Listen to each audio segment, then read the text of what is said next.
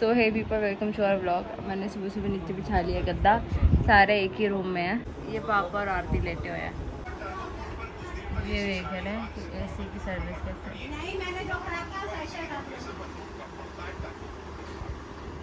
आरती है mummy? So people ये चुड़ैल हमारे घर में घूम रही है। इसकी ड्यूटी है दोपहर वाली।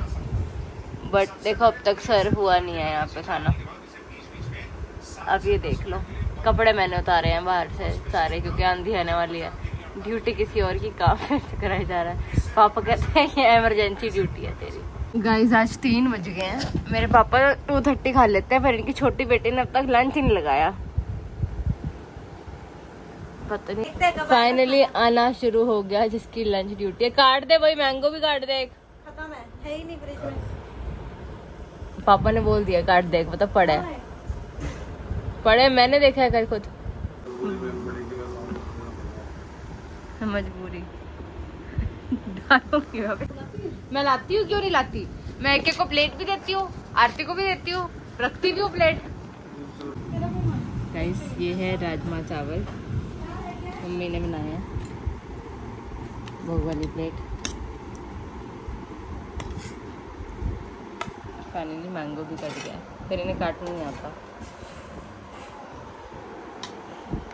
इन दोनों को पता नहीं क्या मौसम के मज़े लेने यहाँ पे बैठ के देखना है मौसम। में गर्म हवा चल रही है भाई। पागल बारिश हो रही है। डाले उत्तर गाड़ी का दरवाज़ा बंद रहना चाहिए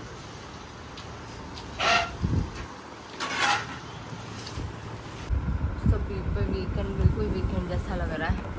दादा ने भेजे हैं समोसे। आजकल मेरे को समोसे बड़े पसंद आ रहे हैं। तो हम पियेंगे चाय और समोसे विद पापा। तो पीपल में आ गई हूँ नीचे। नमस्ते। गाइस हमारी बुआ जी हुई है घर पे। आज तैयार श्यार होके बढ़िया। ये चप्पल जो इन्होंने पहनी है, वो भी मेरे साथ ही ली थी इन्होंने। हाँ।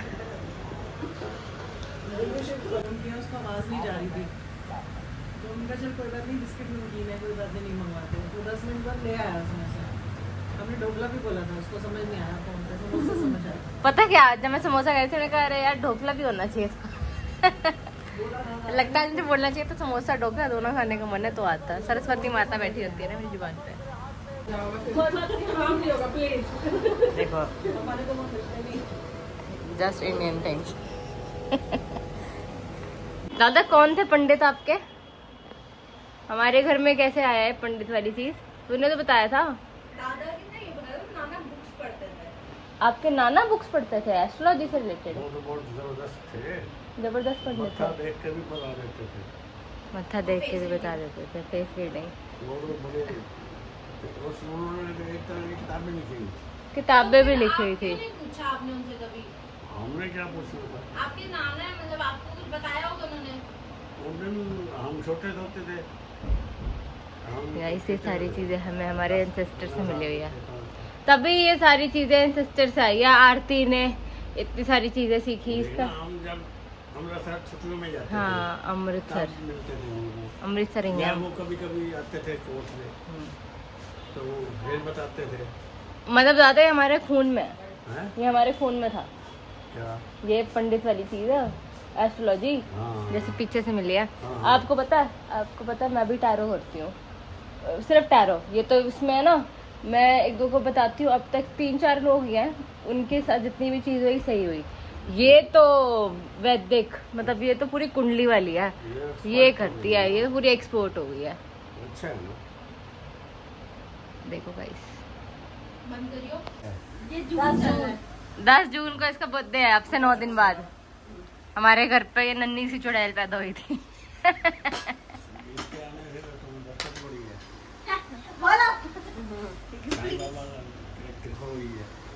साईं बाबा की कृपा हुई है और बोलो जी। दादा वो वार्निंग दी थी भगवान ने कि तेरे घर में आरती भेज रहा हूँ। वार्निंग दी वो।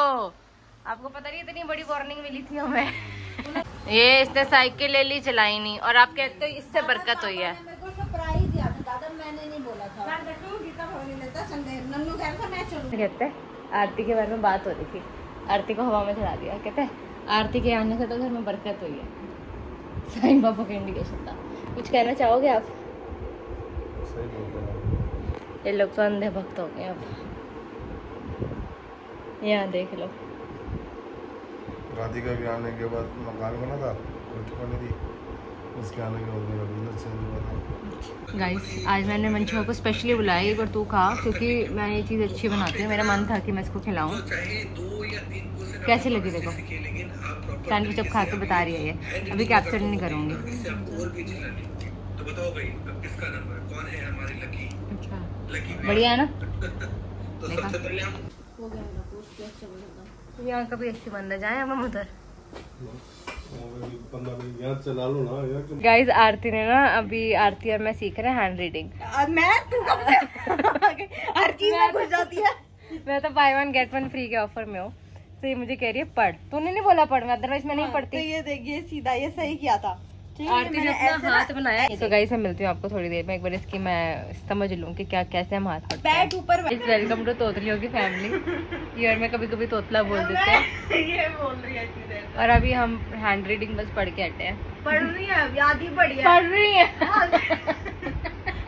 है पढ़नी है। पढ़ रहे पढ़ रहे है। ओके सीरियस मेरे गुरु ने बोला सीरियस सीरियस पर ये देख लो ये हैंड रीडिंग पढ़ी जा रही है ये मेरी उंगलियों को माप रही है वो भी वो लगा के। अ, अ, जो भी है ये? मार्कर क्या है? सो पीपल ये व्लॉग था यहीं तक का। आज के व्लॉग में आपने देखा कि मेरे दादा के नाना अ, वो थे पंडित वगैरह और उन्होंने बुक्स भी लिखी थी काफ़ी। वो तो दादा हमें बता रहे थे कि माथा देख के बता देते थे ना सारी चीज़ें।